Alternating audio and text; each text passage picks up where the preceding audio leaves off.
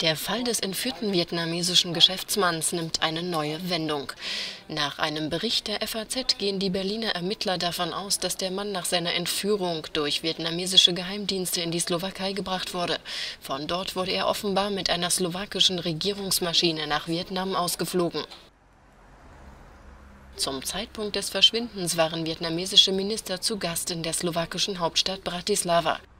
Zudem sollen sich auch einige mit dem Fall im Zusammenhang stehende Verdächtige dort aufgehalten haben.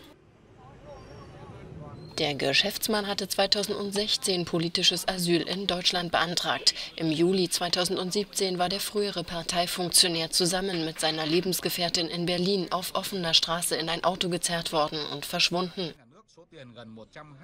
Später tauchte er in Hanoi wieder auf. Dort wurde er wegen Korruption zu zweimal lebenslänglicher Haft verurteilt. Der Fall belastet die Beziehungen zwischen Vietnam und Deutschland. Die Bundesregierung wirft dem südostasiatischen Land vor, gegen deutsches und internationales Recht zu verstoßen. Vietnam dagegen behauptet, dass der 52-Jährige freiwillig in seine Heimat zurückgekehrt sei.